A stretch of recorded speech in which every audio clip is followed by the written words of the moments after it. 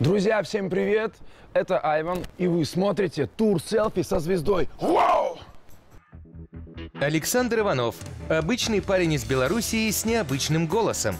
Музыкальная карьера артиста началась в 2014 году с победы в конкурсе молодых исполнителей «Пять звезд».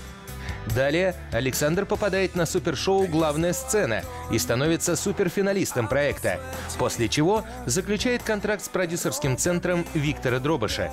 В 2016 году Саша представил Белоруссию на конкурсе Евровидения в Швеции под сценическим псевдонимом Айван.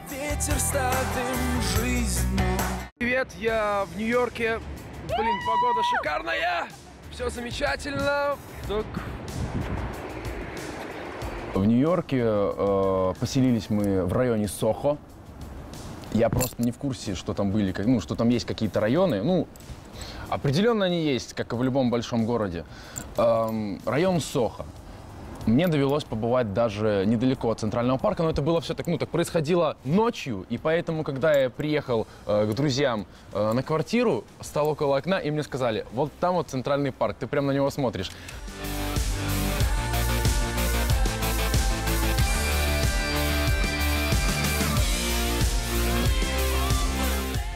А из-за того, что была ночь, я его не видел. Ну, можно сказать, что я как бы, ну, как бы видел его. Ну, я был напротив этого центрального парка, но было темно, и ничего не видел. Так что я не знаю, как к этому даже относиться. Первый раз в Америке это было что-то грандиозное. Вот выходишь просто в город, и вот ждешь, пока какие-нибудь черепашки-ниндзя или Человек-паук из-за угла завернет. Ну, потому что что не улица, то улица из фильма.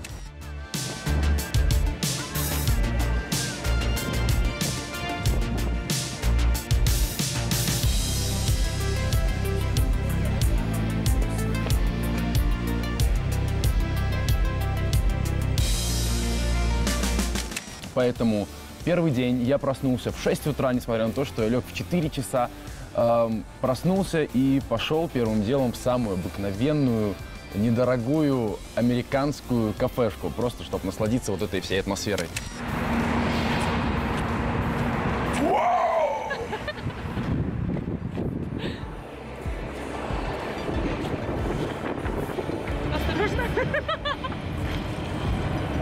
Получила колоссальное удовольствие, в кафе никого не было, эм, и очень вкусный омлет. Всем советую приехать в Сохо и попробовать э, тамошний омлет и кофе. Что восхитило больше всего в Штатах, я даже не знаю. Просто ты, когда приезжаешь в этот город, э, совершенно другая атмосфера. Там э, вот эти здоровые машины, огромные вот эти «Шевроле», э, огромные здания, хот-доги по доллару. И Кока-Кола, кстати, тоже по доллару. Я так прикинул, вот если вот так вот, если питаться одними хот-догами и Кока-Колой, в принципе, на 30 долларов можно там прожить месяц.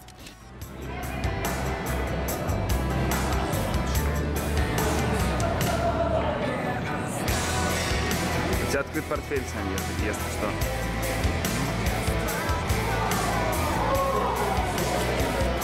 Мне больше нравится, конечно, экскурсионный такой э, вид отдыха, потому что ты ходишь, во-первых, это другая культура, другое отношение к жизни, в принципе, другая архитектура, еда и, ну, и вообще все. Другой воздух.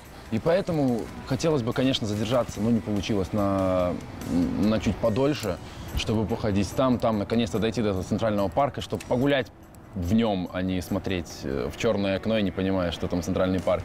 Э, Empire State Building, я, кстати, э, видел это строение. Но тоже странно, вот ты, ты едешь по городу, который ты видел только в фильмах. И, и странно оказаться в нем. То есть ты представлял, ну, Empire State Building, building где-то на картинках, где-то в фильмах его часто показывают, снимают с вертолета красивое такое здание. А ты тут просто едешь э, к друзьям, и, он- и оно так из-за угла выглядывает, типа, привет. И ты так смотришь, ё-моё, неужели это оно? Я думал, оно больше. Ну, такие всякие ощущения. Так как я там был первый раз, я камеру просто из рук, у меня была две камеры, я просто из рук их не выпускал. Я снимал все подряд, все абсолютно. И родилась такая идея, что на новую песню, которая в скором времени уже будет готова, и дай бог она выпустится, эм, будет еще такое сопровождающее видео а, о моей поездке в Нью-Йорк. Встану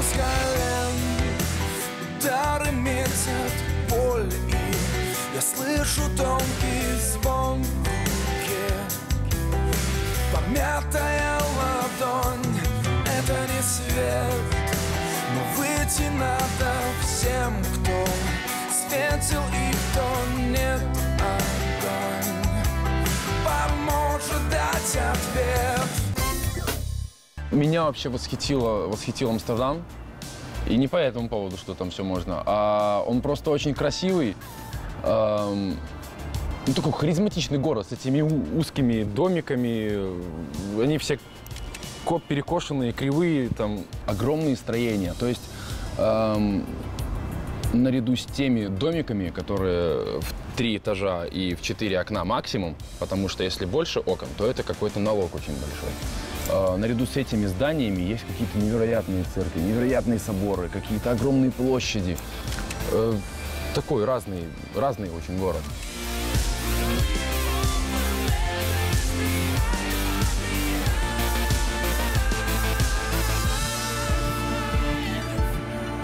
Амстердам, там очень много велосипедов. Я столько великов вообще никогда не видел. Они просто, мне кажется, один за другим вот так вот при- привинчены.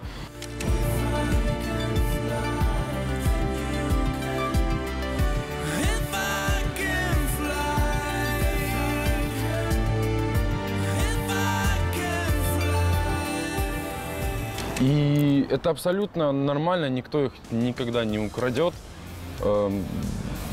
Тоже удивительно, потому что если бы, наверное, где-нибудь здесь вот велики стояли, кто-нибудь тиснул, м, как мне кажется. Э, Маленькие европейские машинки, у меня даже фотография есть э, в соцсети, где я рядом стою с э, такой красной э, маленькой машиной, как туда, как там вообще люди вмещаются, непонятно. Это какой-то какой-то мотоцикл с крышей просто. Паста в Италии. Вот прямо вот в Италии. Вот почему-то в Италии, я не знаю, что, что они туда добавляют. Может, они в этой в, морской, в морской воде ее кипятят. Не понимаю. Но э, как ни пытался делать здесь, у меня так не получалось. Вот, наверное, вот паста вот самая вот замечательная с трюфелями.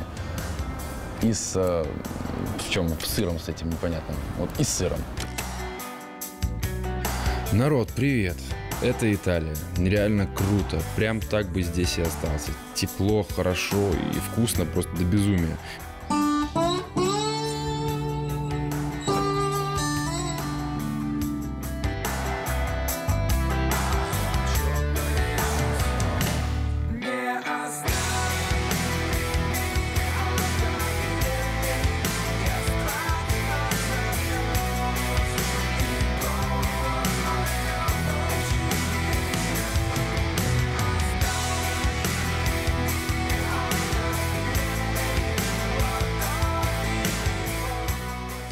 Каждом большом городе есть такой так называемый старый город, где вся эта старая архитектура, старые церкви, э, соборы, э, какие-то эти лавки сувенирные.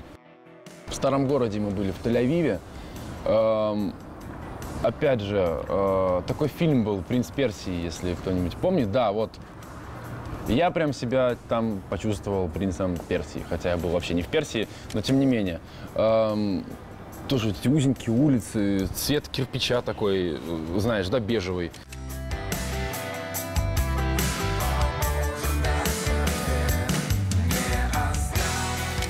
Платки вот эти расписные, красивые, какие-то непонятные сувениры, непонятно зачем, что с ними делать, какие-то яйца, то ли не яйца, э, ножи, эм, еда, пища. Там люди вот в этих штуках ходят. Эм, он очень харизматичный. Как-то описывать это все тяжело, потому что он сам по себе, он пустынный, но зелени там предостаточно, я вам хочу сказать.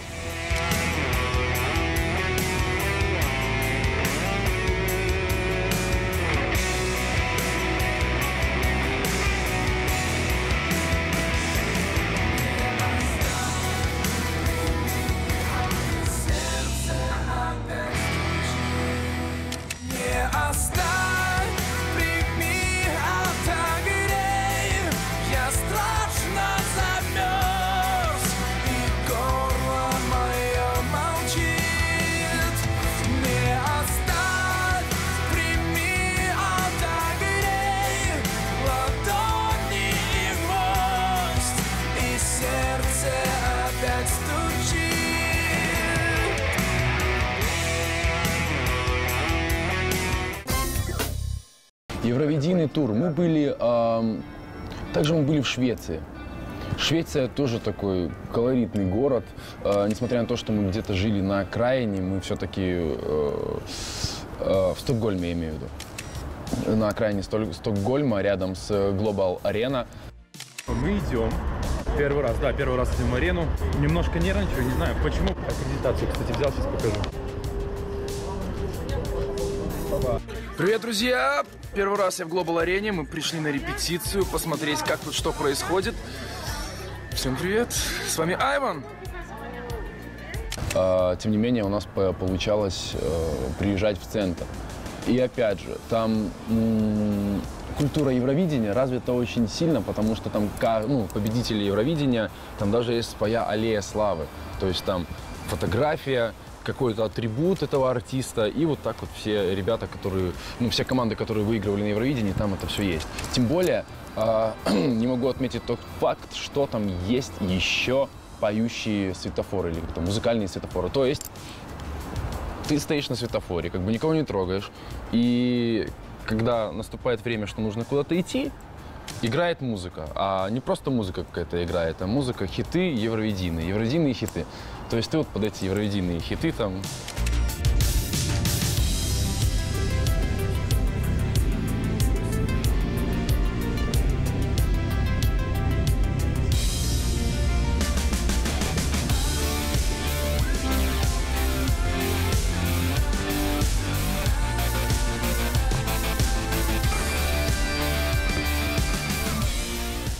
Также я там был в музее. Музей, я, конечно же, не помню, как он называется, но там был самый огромный, эм, насколько я знаю, в Европе, наверное, самый здоровый э, корабль деревянный, парусный. Эм, он пролежал э, на дне эм, 300 лет.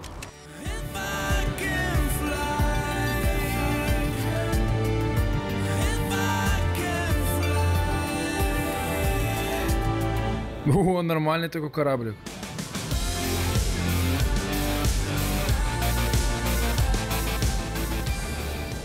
Его потом достали. Он проплыл, по-моему, 100 метров и потонул. Потому что его как-то укомплектовали так очень сильно. Он весь золотой был, он весь в золоте был. И прямо такой весь красивый, с пушками. И прям, ну, так это, плыл и потонул. Какой-то неправильный корабль получился у ребят. Совмещать работу с отдыхом, это многого стоит. И это очень приятно.